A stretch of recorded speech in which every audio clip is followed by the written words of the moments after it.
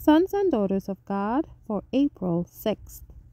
The reading is entitled, The Renewed Heart is a Pure Heart.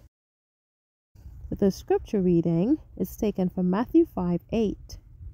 Blessed are the pure in heart, for they shall see God.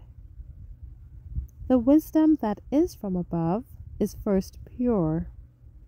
Into the city of God there will enter nothing that defiles. All who are to be dwellers there will have here become pure in heart. In one who is learning of Jesus, there will be manifest a growing distaste for careless manners, unseemly language, and coarse thought. When Christ abides in the heart, there will be purity and refinement of thought and manner. But the words of Jesus, blessed are the pure in heart, have a deeper meaning.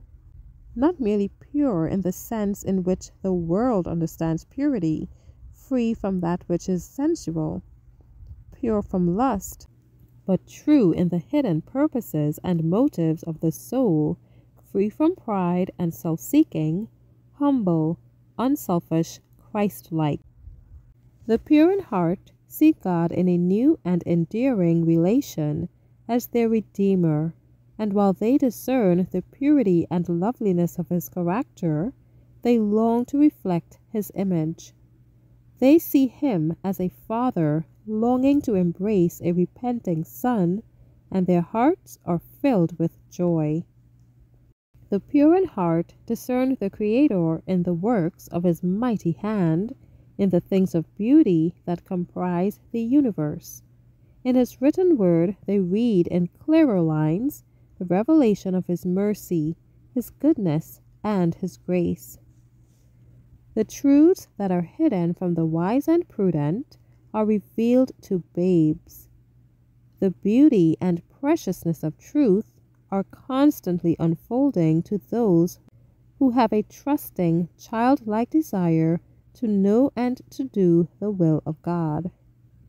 The pure in heart live as in the visible presence of God during the time He apportions them in this world and they will also see him face to face in the future immortal state, as did Adam when he walked and talked with God in Eden. Now we see through a glass darkly, but then face to face. Thank you for listening.